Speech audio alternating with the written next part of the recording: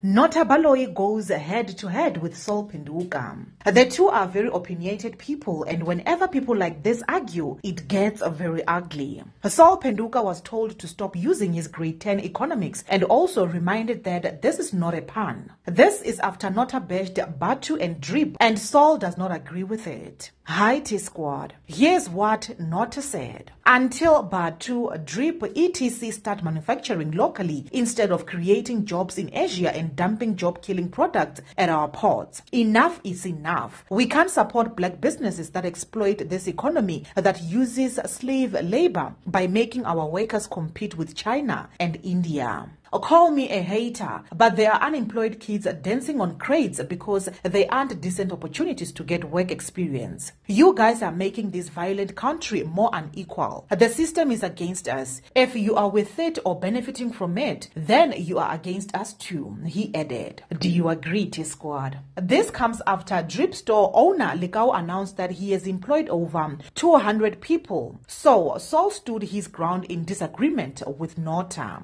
Nota, you flew in Wale and paid him for a feature and video shoot for your artist. All that money could have been invested locally on a local artist. Kodwa, you took that money to America, Sol said. Lekau employs more than 200 people, Nota. Maybe the day will come when guys manufacture the products here and still manage to keep cost down. A drip bar, Bathu etc. They do more good to the economy than bad. 200 people employed. That's a lot of mouth, Sol added. Ati Squad, who do you think is taking the expenses and job creation lightly? And that's it for now, T Squad. Do leave your comments down below. I love you.